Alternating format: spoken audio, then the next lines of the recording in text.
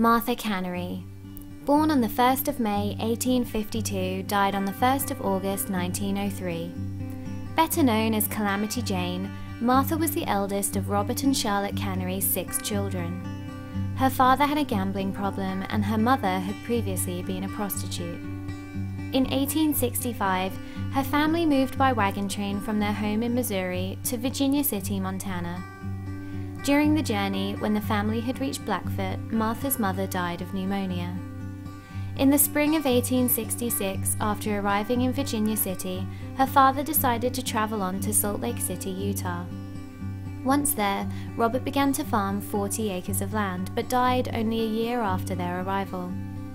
In 1867, at just 15 years old, Martha took charge of her five younger siblings and a year later loaded up their wagon and took her family to Fort Bridger, Wyoming, then on the Union Pacific Railroad to Piedmont.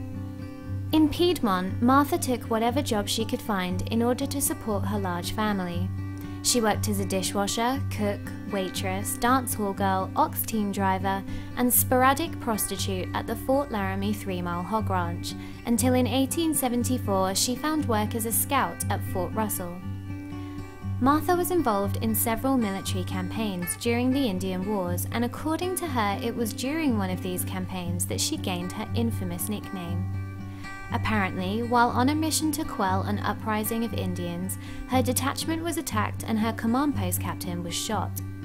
Martha managed to catch him as he fell from his horse and succeeded in getting him safely back to the fort. Upon their return, he christened her Calamity Jane, Heroine of the Plains.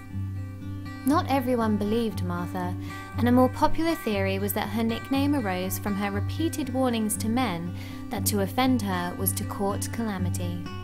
In 1876, Martha joined a wagon train of prospectors, gamblers, and prostitutes led by Charlie Utter, headed from Fort Laramie to the gold rush in Deadwood, South Dakota. Her arrival in Deadwood later that year was heralded by the Black Hills Pioneer with the headline, Calamity Jane has arrived. It was when the party stopped in Cheyenne that she met Wild Bill Hickok. Martha had become infatuated with Wild Bill, despite his noted indifference, but shortly after their arrival in Deadwood, he was shot in the back of the head during a poker game by Jack McCall. McCall had lost heavily to Wild Bill the previous day and was apparently insulted when Wild Bill offered him money for breakfast in consolation. McCall was found innocent of murder at his first trial on the grounds that Wild Bill had allegedly killed his brother while he was a marshal in Abilene, Kansas. Martha claimed that she led a lynch mob in pursuit of McCall as he fled Deadwood, armed only with a meat cleaver, as in her anger she had left her guns at home.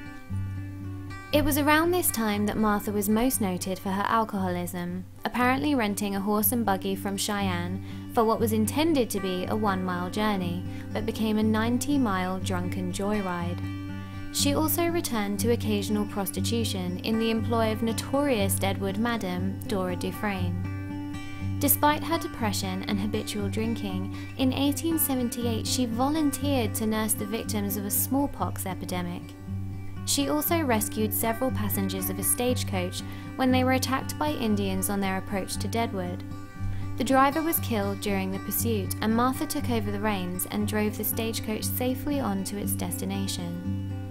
In 1881, Martha bought a ranch west of Miles City, Montana, along the Yellowstone River, where she kept an inn. She married a Texan, Clinton Burke, and the two had a daughter together in 1887, who was adopted by foster parents.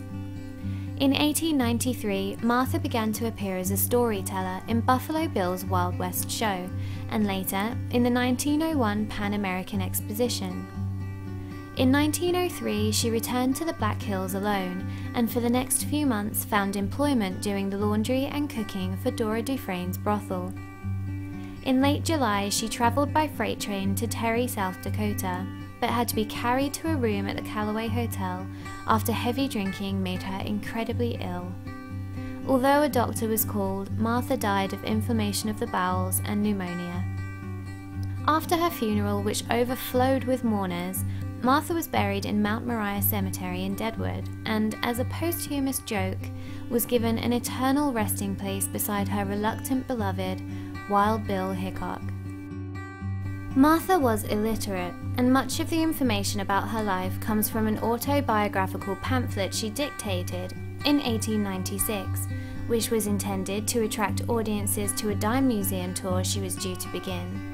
She was also well known for her tall tales and exaggeration, so it is difficult to know how much of what is known about her life is actually true.